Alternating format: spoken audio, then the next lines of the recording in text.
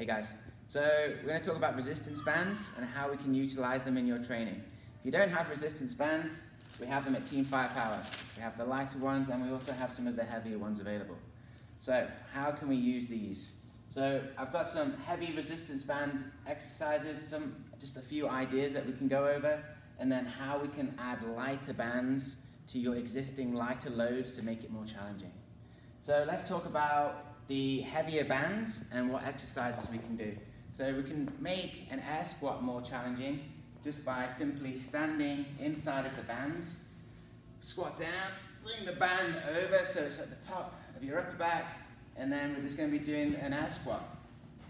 The load is going to decrease as we descend, and then it's going to increase as we stand back up. So we're just going to be doing simple air squat. If it try to make sure, mine's a little bit on my neck at the moment, so just try and adjust it so it's actually across the top of your shoulders. You don't want it to be too high on your neck when you do this. We can also do the, the good morning like we did before, sending the hips back, getting the chest parallel to the ground, and then standing up. You can also do good mornings. This is another great exercise that you can do with the band. You can also do some upper body exercises. So if you've got a tree, or just something taller so you can throw the bands over. You can reach up pretty tall, come into a kneeling position. Toes will be hooked. Shoulders are going to be down. You're going to think about pulling the elbows down to where your pelvis is. And we can also simulate lat pull down or a pull up. And again, this wants to be pretty controlled.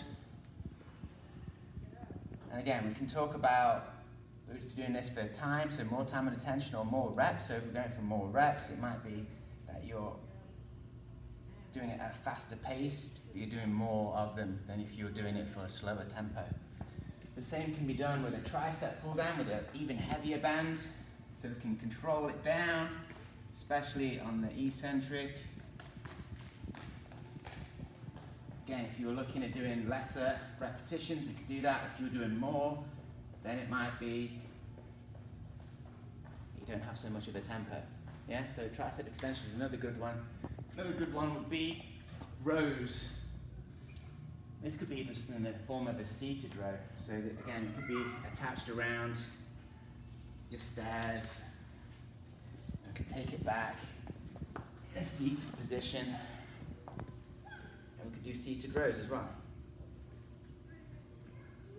again slower or if you're looking at doing more repetitions or for a period of time, let's say five minutes,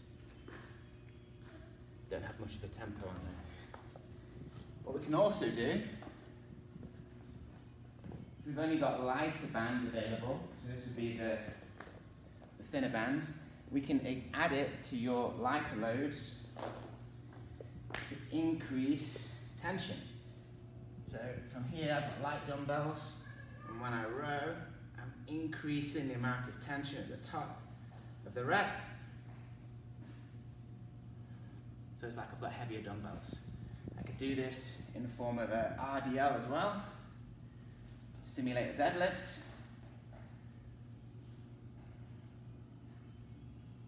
And I can also do this with a kettlebell. I've got a really light bell and I want have more resistance. I can spread my feet pretty wide, and then with the band, it's going to add extra resistance at the top of the swing for me, so I can get a better workout. Hope these ideas have been helpful, and I hope to see you utilising them. Thanks, guys.